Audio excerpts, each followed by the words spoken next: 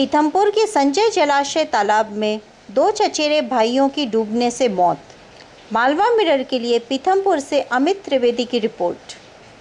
पीथमपुर के संजय जलाशय तालाब में दो चचेरे भाइयों की डूबने से मौत हो गई। प्रिंस, उम्र 12 वर्ष व विनीत, उम्र 17 वर्ष, दिनांक 22 जून से घर से लापता थे। दोनों के परिजनों ने थाने में गुमशुदगी की रिपोर्ट लिखवाई। दोनों भाई तालाब में नहाने गए थे और वहीं एक हादसे का शिकार हो गए।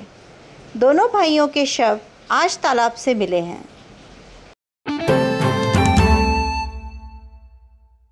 अपने क्षेत्र की खबरों से अपडेट रहने के लिए चैनल को सब्सक्राइब कीजिए और नोटिफिकेशंस के लिए बेल आइकन दबाएँ। चैनल पर आपके सुझाव आमंत्रित हैं कमेंट बॉक्स में कमेंट कीजिए।